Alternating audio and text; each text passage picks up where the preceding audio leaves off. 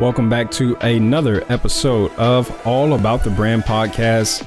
I am your host, Cortney Sargent, senior. Very proud to be a senior. And in this episode, I'm going to tell you how I became a personal brand and what is personal branding. We're going to talk a little bit about that today. We're going to broach that topic. What is it? Why is it so important? Okay. As I've said before, there are two types of branding there's your visual branding and your story branding. Uh, and we're going to talk about personal branding today, which is, is very, very similar to your story branding, essentially the same thing. Um, how I became a personal brand and, and why I actually started calling myself a personal brand. I first heard the term branding in 2010, and I had no idea what it was or what it could do for me it actually came to me in a very spiritual way, a very spiritual experience. I distinctly remember hearing the term personal branding inside of me, in my spirit, in my mind. I didn't audibly hear it, but I heard it in my mind, in my spirit, and I started to do some research on it. And I knew nothing about it, but little did I know several years later, I will be a three time award winning graphic designer. I will become a CEO of a branding agency. I will be the president of a nonprofit organization and beloved as the people's entrepreneur. Another story for a story time. Um, and I boldly say that God, the universe, infinite power, infinite intelligence, personal branding, and a determination to succeed has afforded me those opportunities then and now and has made me the man that I am today. I strongly believe that. And I, I got to be honest with you, though. I never wanted to be a brand. I never tried to become a brand, but I realized that I didn't, I couldn't help it. right. You, you really, we all have a brand and I'll get to that. But I never wanted to be a brand because I didn't want people to think that I was arrogant or prideful because that's not my personality at all. Like if you know me and the more you listen to this podcast, you'll you'll learn me. But that's not my personality whatsoever. So when I call myself a genius, I say that because I believe it, not because I'm just this arrogant guy. That's not me whatsoever. You know, most folks are dog lovers. I'm a people lover. And I have dedicated my life to serving others. And becoming a personal brand was the best career decision I've ever made. One of them, probably moving the te- moving to Texas was the best one, but you know, I don't I don't know. That's that's they hold a close one two punch right there, but probably was the best decision that I've ever made for my for myself as a brand um, because it allows me to be who I truly am without apology. Because this is my brand and I embrace my brand. I embrace who I am. So if you thought about branding yourself but you have similar concerns where you don't want people to think that it's all about you or you don't like being the limelight or whatever the case may be, just do it. Just do it. And here's why your constant desire to be humble will keep you from being arrogant. I'm going to say it again. That's a tweetable. Your constant desire to be humble will keep you from being arrogant because you're going to do internally, you're going to do everything that you can not to be arrogant because that's not you. That's not your heart. That's not your intent. And the fact that you don't want to be prideful will keep you from being prideful. The same is true with success. I believe your fear of failure will keep you from failing and drive you to succeed. And your fear of failure will look at a failure and say, This was not a failure. This was, in fact, a success. It's all about having the right mindset, motives, and perspective. And so after I heard the term personal branding, I started researching and learning everything that I could about it, like just Googling it, looking it up, reading books. Then I started testing what I learned on myself first. I started testing it. And what do you know? It worked.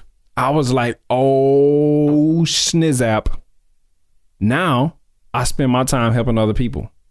I built a company helping other people build their brand around who they are and what they love because it worked on me and I know it'll work for other people. My personal brand has afforded me to earn hundreds of thousands of dollars. And you know what? I'd rather be rich than poor because I've been that before. That rhymed a little bit. Um, so anything, but one thing that I did discover from branding myself is that if you don't put yourself out there, you can't expect anyone else to do it for you. And branding affords you the opportunity to control the narrative. It allows you to put the narrative out there, to put the story out there about who you are, right? If you don't promote your own product and service, then how can you expect other people to do it? People say, I don't want to promote myself. Well, who's going to do it for you, baby girl? Who's going to do it for you, young man? Nobody. Nobody's going to do it for you. Okay? You have to make yourself available for for people to communicate and work with. You got to put yourself out there. You know? And people only know what you share. Remember that. People will only know what you put out there. So if you say, I don't want all of my business on social media, then baby girl, don't put it out there like that. Don't put all of it out. Okay. Just put out what you want people to know. And, you know, you don't have to create a facade, but you just choose what you what you choose to share. Just share what you choose to share. All right. You got my point. All right. So let's talk a little bit, a little bit about what is personal branding. Simply put, the act of personal branding is the practice of people making themselves and their careers as brands, essentially. And you are the brand that represents your business, your company, or your organization. As an entrepreneur or business professional, you are a walking billboard, and no one can represent your business as good as you. You are the most accurate representation of your business there is. If you don't have a business, it doesn't matter because you're still a brand. No one can explain your vision the way that you can explain it. No one can explain your ideas the way you explain it. Your brand is all the things that make you who you are. You have unique characteristics, gifts, skills, personality traits, passions, and interests that make up your personal DNA. Personal branding is mixing all of those ingredients together and creating a product or a service around your passion that can benefit others by solving problems, by providing uh, information, convenience, and value. People pay for those things right there. Information, convenience, and value people will pay for. Remember that. Personal branding is about packaging you and presenting and marketing yourself to your audience in such a way that adds value to their lives. That's what personal branding is. Okay. That's the soft branding. All right. That's the, that's I wouldn't even get into the the story branding aspect of it, but that's just branding overall. Okay, because story branding is a is a whole nother deep concept as well. So I want to talk real quick, real quick in my last couple of minutes of why is personal branding important.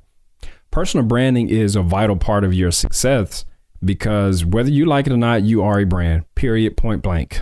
Okay, there's no change in that. That's just the way it is. The danger in not embracing your brand is the fact that your brand is talking about you to the world without you leading the conversation. That was good. Let me say it again. Let me try to say it again. the danger in you not embracing your brand is the fact that your brand is talking to the world about you without you leading the conversation. For example, right? I'm sure you know somebody who's always negative, right? Get that person in mind. They never have anything positive to say. They see the glass as half empty instead of half full. That's their brand. Everyone knows it. And that's what people tell other people about them when that person is not around, when that person ain't in the room. Branding is what people say about you when you're not around. It's your reputation to your audience. If you take away nothing else today, take this. Your brand is your reputation. So, my question to you is this what reputation is your personal brand creating for you? Personal branding is so important because when you're purposeful about guiding and cultivating your brand, you can use it as an asset to your success. Okay? So, your personal brand is the one thing that you can't get rid of, but you have total control over. That's another tweetable right there. I ain't gonna charge you nothing for that. the worst thing that you can do to your brand is ignore it. All right? So, what are you going to do to cultivate and build your personal brand? Will you continue to ignore it? Or will you use it as a tool to help you reach your American dream of peace, freedom, and happiness? Okay? So, if you don't know where to get started, just hit me up. Let me know. I got your back. All right? Um, that's literally all the time that I have for today. Thank you guys so much for listening. My name is Cortney Sargent Sr. Until next time, I'm wishing you all of the success that you're willing to attract into your life. Let's make it better by going up together. I love you. Peace.